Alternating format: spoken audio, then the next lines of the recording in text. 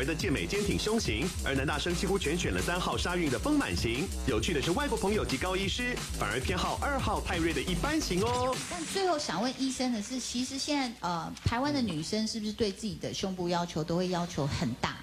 呃，并不如此，但是我们发现临床上，年纪越轻的要求的越大。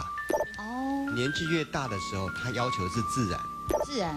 对。自然几？自然 A B C D。C。自然 C，自然 C，那年轻的可能都做到多大？第一到第一。可能是要大。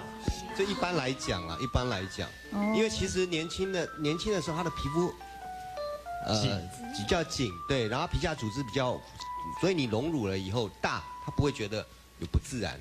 但是你松垂了，呃，皮肤比较松弛了以后，你隆乳了以后，很容易看到我们放进去义乳的形状。您自己觉得哪一个比较？我是选二号，你是二号。我个人是选二号。刚刚主持人问题很好，说男孩子是不是胸呃呃那个女孩子胸部是不是要大？答案是是的，因为上帝造人的时候，他的胸部是做第二性征，第二性征是做什么？是来吸引异性的。所以男人男人喜欢大胸部的，基本上是对的。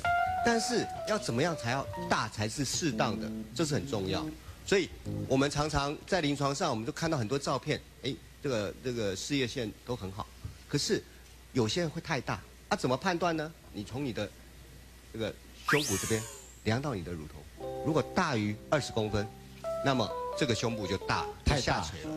所以，所以，所以我们整形外科医师或者说讲，我们都不喜欢太大，而且时随着时间，它受到的地心引力会外扩。下垂，下垂。